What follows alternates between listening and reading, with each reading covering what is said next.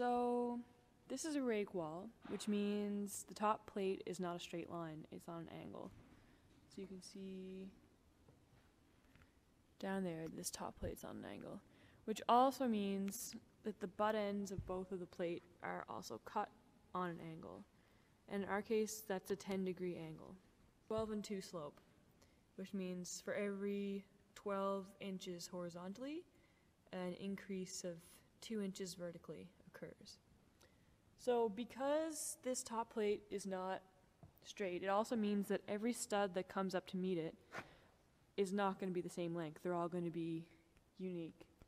And the angle on which each of the stud is cut uh, matches the angle of the top plate, which is 10 degrees. So it's really important when you make your line to cut that 10 degrees, you know in which direction to go 10 degrees, and to keep in mind which direction that results the crown and bow of your wood to face. So it can kind of get a little tricky. But we did this yesterday when we cut the, the top and bottom plate for the opposite rake wall over there. So we kind of just did a two of everything. So we wouldn't have to do all the math twice again today. And so yeah, this is the low end. The 9 foot 8 and 10 foot 11 are end member heights. So, yeah. Now we're ready to put in our kings and trimmers and cripples since we have the box all framed in. And we've got two windows going in. The top window, which is going to be in a loft, is a five foot wide window. So that's the king and trimmer for that window. And this is the other king and trimmer for that window. And then down below that window, we have another smaller window, which will be positioned in our bathroom. And here's the king and trimmer and king and trimmer for that window. And here's our center line, which we use to position both of these windows so they're perfectly centered. And then we've got a few cripples thrown in, which will either go up to the top window or the bottom window, depending on where they land. Those are there because of our two-foot centers. Right. All right, so we can start throwing in our our studs now.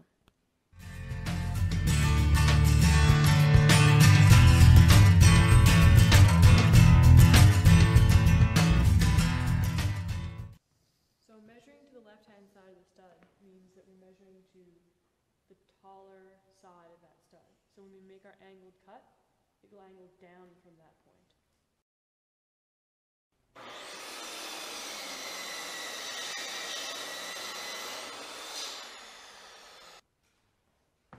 So that's the 10 degree angle that we're working with.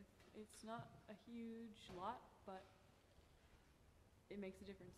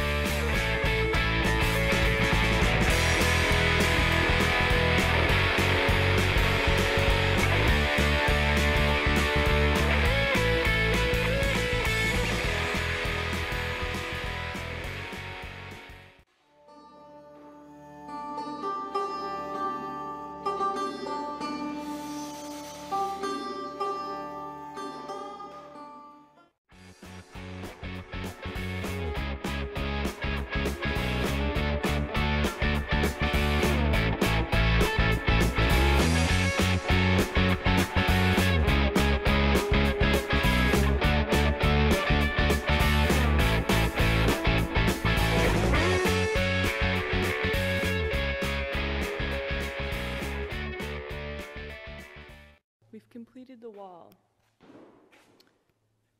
We've got the top five foot wide window framed in right here. Cripples above, cripples below. And then I'm was just standing in the smaller window below. That's two feet wide and three feet high. So everything is nailed together and we're ready to raise it now.